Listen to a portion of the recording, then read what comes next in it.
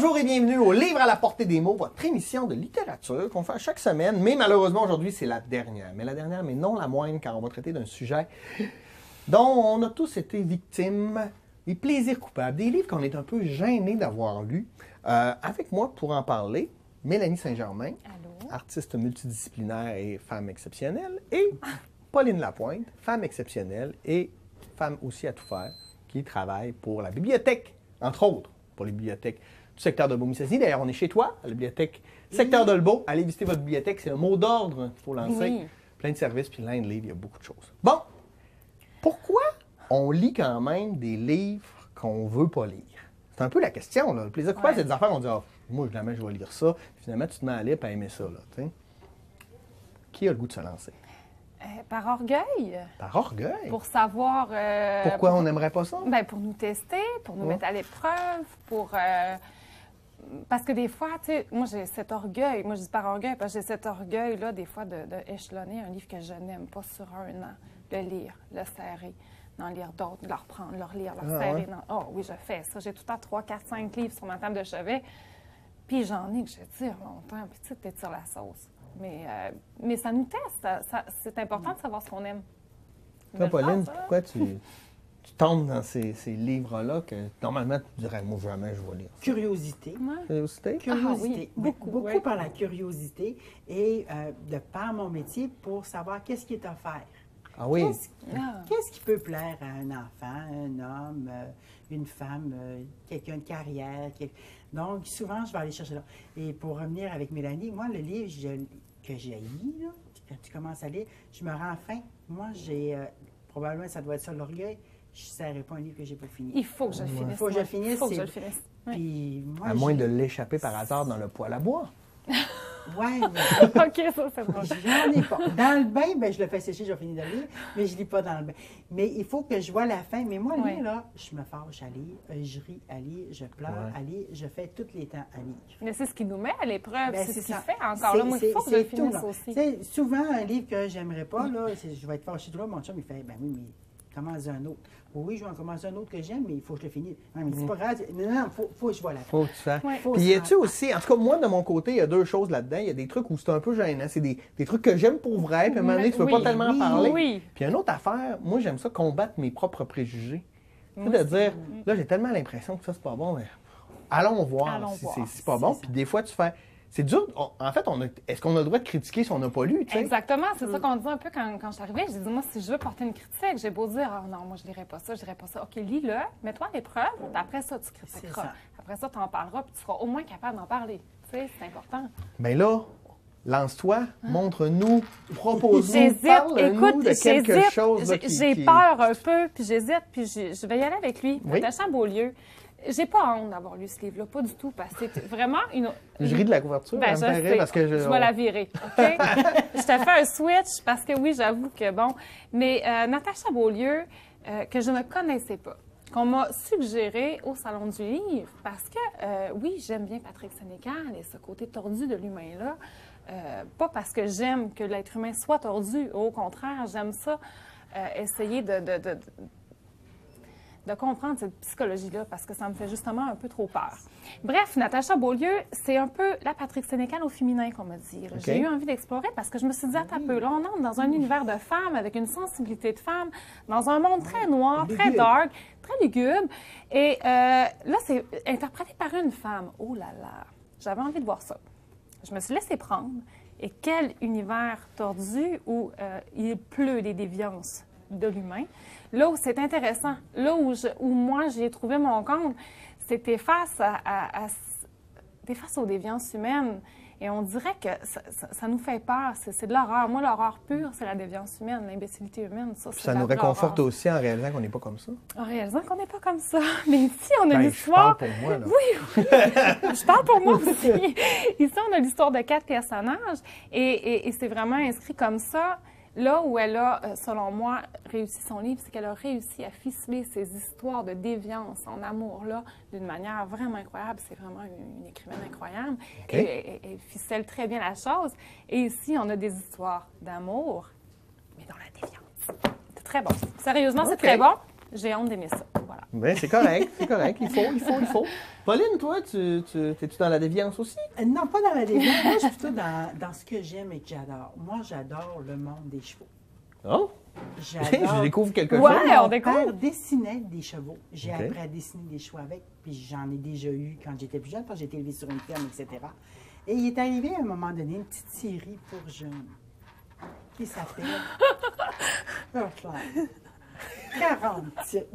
Non, non, mais écoute, je... Et je- pas que j'ai honte d'aimer les chevaux, mais j'ai honte d'avoir aimé la collection et de l'avoir lu au complet.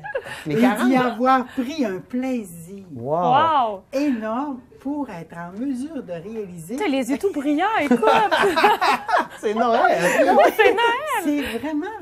euh, on est vraiment dans le monde des chevaux, donc euh, tout ce qui est le vocabulaire sur, euh, dans les écuries, etc., en passant du palefrenier, en allant dans le, le paddock et tout ça. Donc, c'est une jeune fille qui vit en Virginie, que sa mère s'occupait des chevaux qui avaient des problèmes, qui ont eu des accidents, qui ont été maltraités, et elle avait un lien avec les chevaux, mais sa mère décède dans un accident, et la jeune fille reste chez son grand-père qui est propriétaire d'un ranch, Heartland. D'où le titre. Il y a une série aussi. J'ai jamais écouté la série. Ça, la série nous propose des images. C'est pas ça que je veux. Moi, j'aime me faire des images.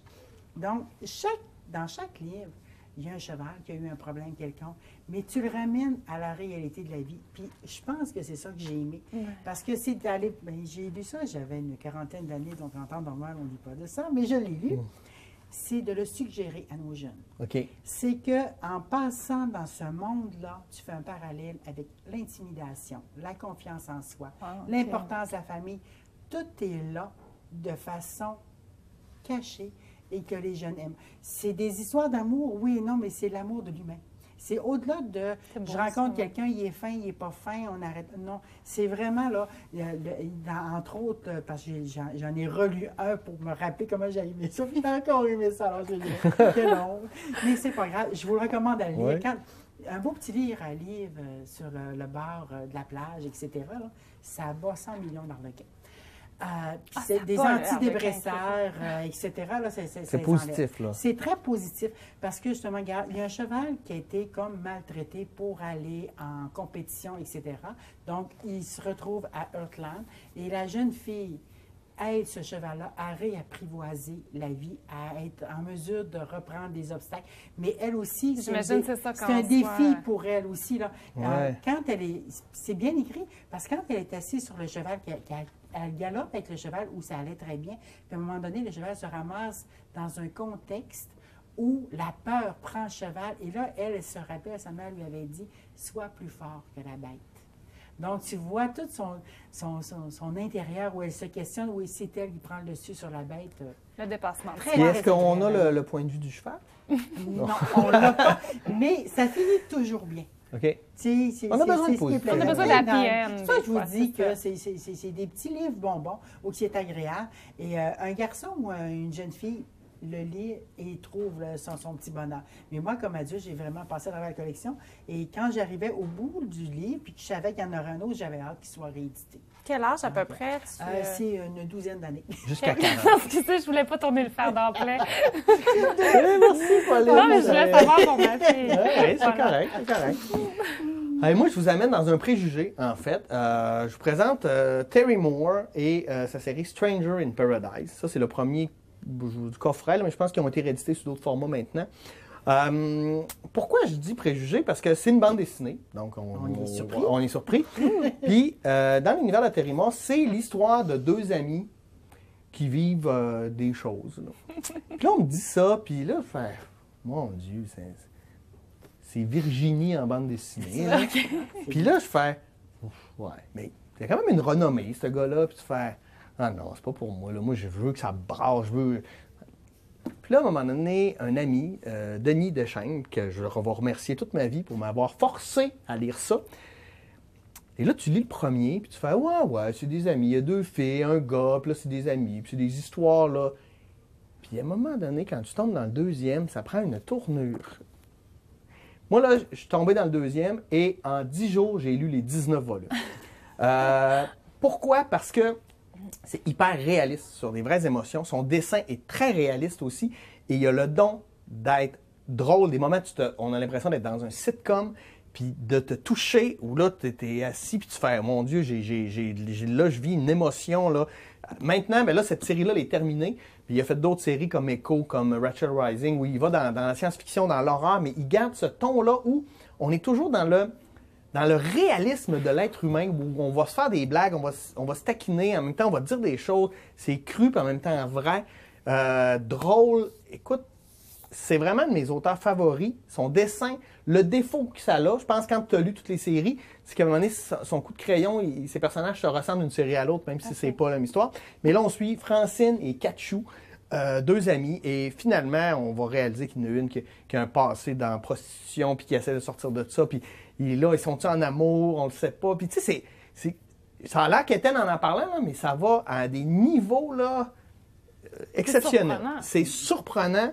Puis je mets au défi de quelqu'un de commencer ça puis d'arrêter. ça se lit tout seul. Et j'ai vu des gars, là, moi, là, des amis de bande dessinée qui, eux, ne juraient que par Batman et Spider-Man. Puis non, non, non, tu me feras pas lire ça. Essaye, essaye. Et de dire, tu m'as eu, bravo. Euh, je veux dire, Stranger in Paradise, je sais que ça a été traduit en français aussi. Euh, donc, euh, moi, je lis ça en anglais, mais c'est 19 volumes et ça se lit tout seul. Sinon, en ce moment, il fait Rachel Rising, une série de euh, sorcellerie mort-vivant. Mais on est toujours dans cet univers extrêmement drôle, extrêmement touchant, cru, véridique. Bravo, Terry Moore, un homme que j'aime profondément. Et un des rares qui sait, ben, je dis pas un des rares, mais ses personnages sont toujours des femmes. Puis il écrit bien. Il, il- C'est je pense qu'il hein? comprend l'univers des femmes. Il, est- il y a une répartie, en fait, il est drôle, drôle, drôle là, à lire absolument pour les fans de bande dessinée. Ah, c'est du bien. C'est Bon, dit. c'est dit, c'est dit, c'est ça dit. fait du bien de le dire. oui, hein? ça- Mélanie, J'ai peur. vas-y, vas-y.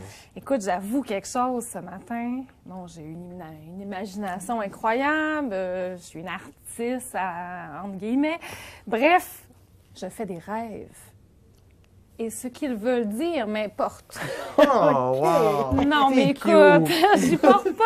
J'en fais pas une psychose. euh, Je me dis pas le matin en me levant. Mais par contre, pour vrai, euh, je suis quelqu'un qui, euh, qui fait beaucoup d'introspection, qui essaie beaucoup de savoir.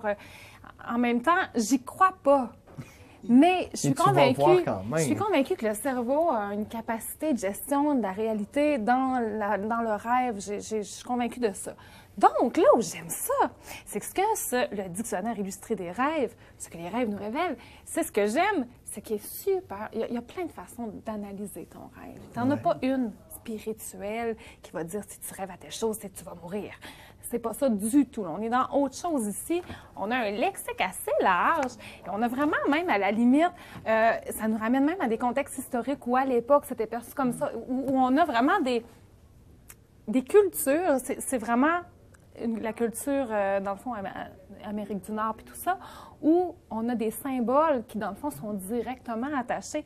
C'est super le fun. À la limite, ça veut peut-être rien dire, mais moi, c'est mon plaisir coupable. Et malgré que j'y crois pas, dur comme fer et que j'en fais pas une psychose, comme je dis, quand je me lève le matin que j'ai fait un rêve qui m'a marqué, je vais voir, puis des fois, ça m'éclaire sur tellement de choses. Je fais, ben oui, à ta peu, toi, je vis ça de ce temps-ci. Ça peut peut-être être. Et puis c'est con, là. Vous allez me dire, mais Oui, moi, là, j'adore ça. oui, c'est ça. Mais j'adore. j'a- Hey, regardez. Et on trouve toujours des surprises à travers. Mais non. Bref, je trouve que c'est c'est super le fun. À la limite, c'est juste bien amusant. Et il faut pas en faire euh, un mode de vie, là. Vraiment pas, je crois pas. Mais en même temps, c'est très amusant. Ça nous amène à, à- à faire un peu d'introspection, à se demander comment ça va dans nos vies présentement, nous ramener au moment présent. Et c'est drôle, c'est le fun, c'est amusant. J'aime ça. C'est mon petit euh, plaisir coupable. J'aime beaucoup faire C'est ça. bon. c'est- Tu vas nous parler d'astrologie après? J'ai, euh, J'arrive avec ça à grands pas. Faut pas rire de nos plaisirs Non, coupables. non, ben je oui, mais oui, il faut rire un en rire. Oui, il faut en rire. Pauline, tu nous amènes où après les chevaux de ton enfance? Kathleen Lewis. Plaisir coupable d'il y a euh, un certain temps. J'ai été dans une période de ma vie, j'aimais lire les livres Princesse Daisy et euh, les Princesses Sissi aussi, euh, Angélique, euh, Kathleen Wood qui existe aussi. C'était des auteurs, c'est encore de toute façon, des auteurs qui écrivent à l'époque justement des rois, des reines, la princesse, les robes. Moi j'aimais lire ça parce qu'on se ramenait à l'époque. Euh, les les filles sont, ils s'évanouissent, etc. J'ai j'ai appris plus tard pourquoi ils s'évanouissaient. Si le corset n'avait pas été tant serré, Ouais, ce ne serait ouais. pas tant évanoui. Mais à ce moment-là, je me questionnais. Puis là, on parle de plaisir coupable lorsque j'avais une vingtaine d'années. Donc, à, une époque, 18, 20, 22 ans, là, je, je mangeais tout ce que, ce que ces auteurs, ce type d'auteur-là lisait. Et On dirait que je reconnais ta fille ce que tu me dis. là. ça se peut pas, la femme ne tombe jamais loin de là. Donc, c'était un peu un plaisir parce qu'à ce moment-là, les gens ne lisaient pas. C'était pas nécessairement les littératures que les jeunes de 20 ans lisaient, mais j'y prenais un méchant plaisir. C'était, euh, regarde, tu es à l'école, tu étudies, euh, bon, ben, c'est quoi je fais comme métier, où je m'en vais, etc. Ou tu es dans un grand questionnement, mais le plaisir coupable, c'était tu t'en allais dans ton livre, là, tu changeais d'époque, tu changeais de monde, il n'y avait plus rien d'existant. Ouais. Donc, c'était, c'est entre autres, si C'est les gens veulent réussir. Parce que c'est pas, c'est pas un auteur d'aujourd'hui, là, si on parle, le livre a dû être édité en 4 78, 79. Donc, c'était mes plaisirs coupables de, de l'époque. l'époque. Wow, j'aime ça, j'aime ça. Ah, moi, je vais vous avouer, parler de mon... Non, pas du tout. Je vais vous parler de mon sexe symbole personnel, de la femme qui m'a le plus in- inspiré, qui m'a motivé. Quand j'étais petit, mon film préféré, c'était Le Magicien d'Oz de 1939. Je suis un fan fini de Judy Garland. Assez là, pour dire que moi, j'ai ramassé un morceau de robe que j'ai. J'ai des, re- des- des revues Times signées de l'époque que j'ai ramassées. J'ai des livres, j'ai des collections de cartes. J'ai les romans, j'ai acheté. Écoute, j'ai le Monopoly du d'Oz.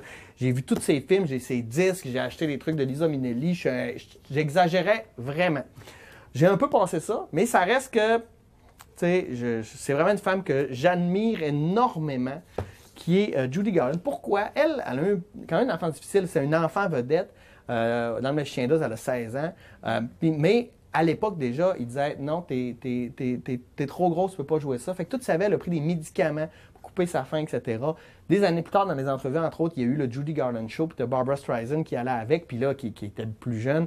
Puis elle disait, Ah, c'est, cool, hein? même si elle a autant d'expérience, elle, tremble encore, elle a encore le trac, puis elle a compris plus tard, fin euh, désolante en 69 où elle, meurt, euh, de nuit assise sur le bol de toilette, là, euh, retrouvée par son mari parce qu'elle a pris des médicaments toute sa vie, qui étaient, puis vraiment la déchéance, mais elle danse, elle chante, elle joue, c'est euh, France Gomme de son vrai nom. Euh, j'ai l'enregistrement de son dernier show une semaine avant qu'elle meure, euh, qu'elle a fait à Copenhague au Danemark. Il y a une émotion dans sa voix. C'est, c'est, euh, faut voir les vieux films, les comédies musicales. faut aimer ça quand ça danse, ça chante, puis c'est des histoires un peu. euh, mais Judy, Judy, je l'aime à mort. Hey, c'est ça. Hein? Ça paraît quand on Ouais, parle, ouais, c'est vraiment, vraiment. Là. Ah, puis là, écoute, je ne vais pas montrer, là, mais tu as, des photos de toutes les époques avec sa mère, avec ses sœurs. Euh, même quand elle vieillit, elle vieillit pas super bien. Elle a eu beaucoup de maris. C'était difficile, euh, sa vie personnelle. Euh, elle était deux fois nomination pour des Oscars pour ses rôles. Elle a fait des trucs plus dramatiques vers la fin, comme le procès de Nuremberg, etc. Euh, mais c'est ça, on la voit ici avec sa fille Lisa Minnelli, qui, euh, c'est ça, de Vicente Minnelli, le réalisateur, entre autres, de euh, Autant n'importe le vent et de grands films américains de notre époque. Merci, Judy, d'avoir été dans ma vie. Je t'aimerai toujours. Maintenant, on passe à quoi? Qui veut s'humilier encore? Euh, Je, peux, hey, je tiens à dire hein, Oui. que ceux qui me connaissent et qui savent pour mon livre de rêve, je tiens à dire que parfois j'ai des téléphones le matin Oh! de gens qui vont me dire Peux-tu checker dans ton livre de rêve, s'il te plaît? J'ai fait ça. Puis ça. c'est le fun.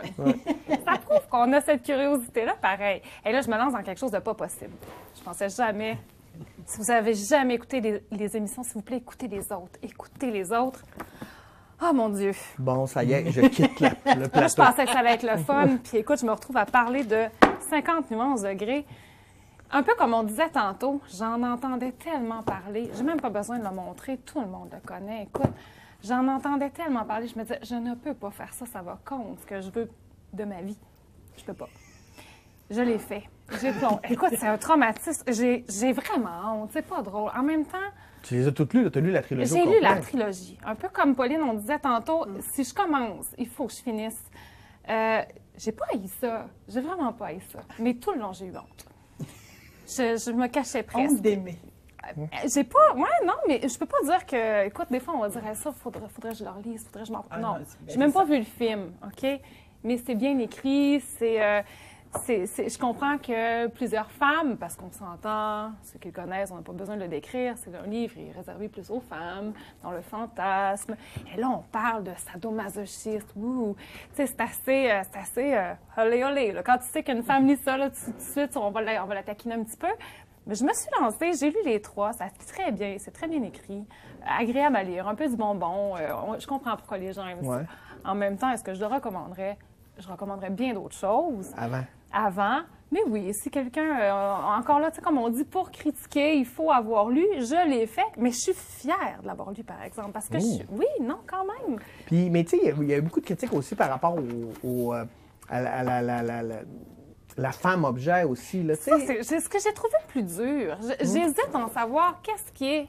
Qu'est-ce qui est plus lourd? tu sais. OK. J'hésite vraiment à savoir. Parce que là où moi j'avais une, euh, Une réticence. Une réticence, merci de me donner le mot, Pauline. Là j'avais une réticence, c'est justement ça. Puis en plus, c'est très commercial. Là, ils en ont fait un film où on voit la femme qui, qui est complètement, euh, complètement abasourdie face à cet homme-là qui est puissant, qui la manipule carrément, qui en fait une femme objet. Elle est bien là-dedans. Et c'est là que c'est malaisant, c'est qu'on entre dans cet univers-là où on est capable un peu de comprendre pourquoi qu'elle aime ça. Ouais, parce que c'est les femmes qui lisent surtout ça. Là, quelque part, si ça dégradait tant les- la femme, il il lirait pas ça. Exactement, parce que c'est pas tant dégradant. Puis en même temps, ben, ce- ce- cet homme-là a un lourd passé.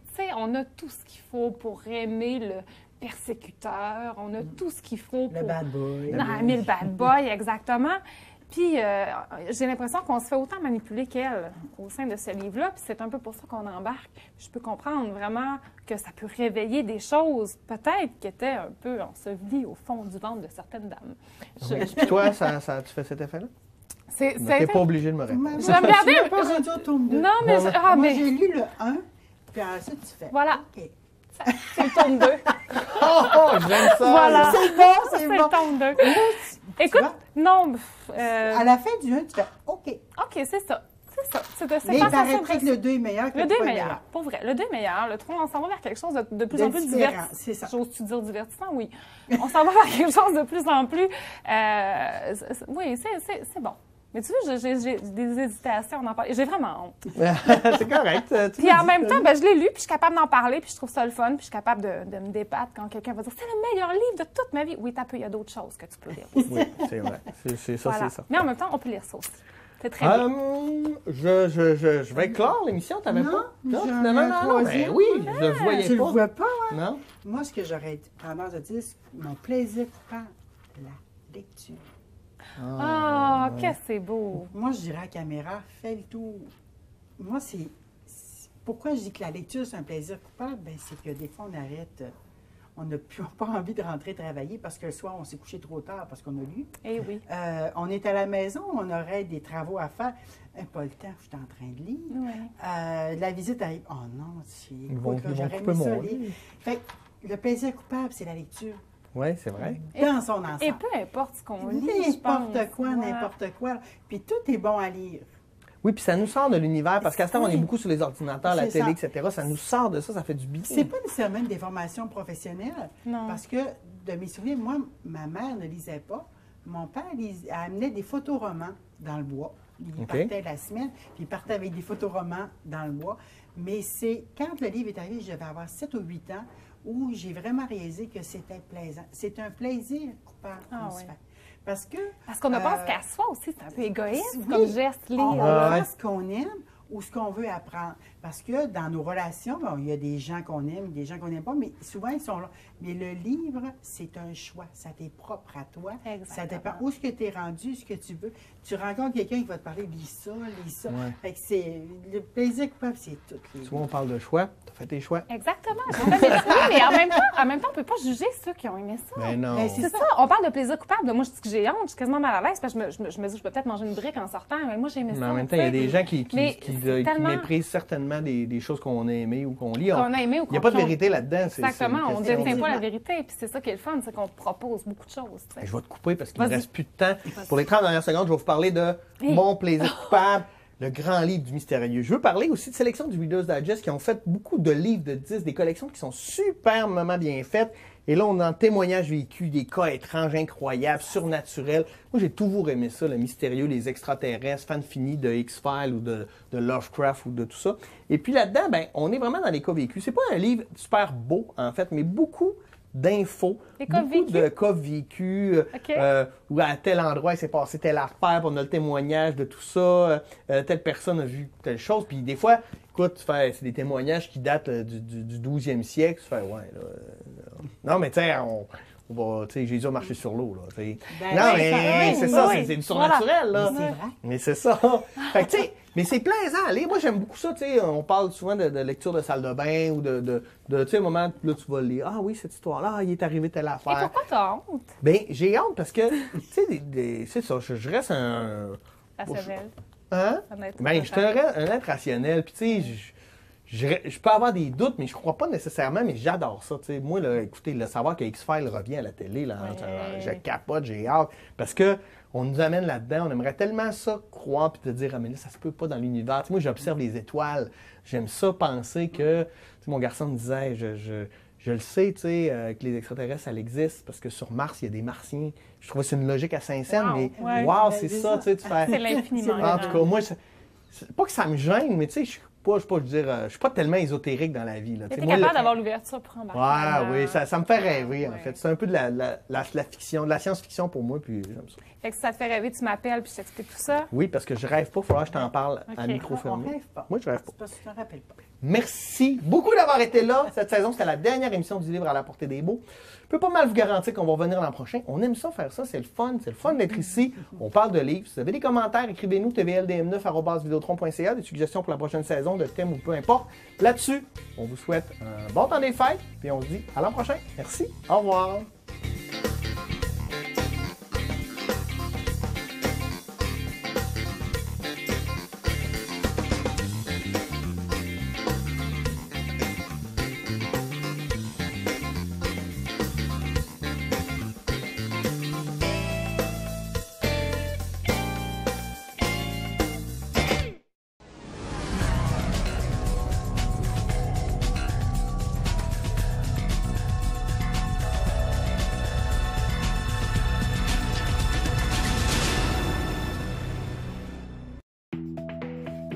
Madame, et bonne fin de journée. Moi, je travaille en français. Dans mon dépannage, je travaille en français. Au Québec, on travaille en français. Un message d'impératif français.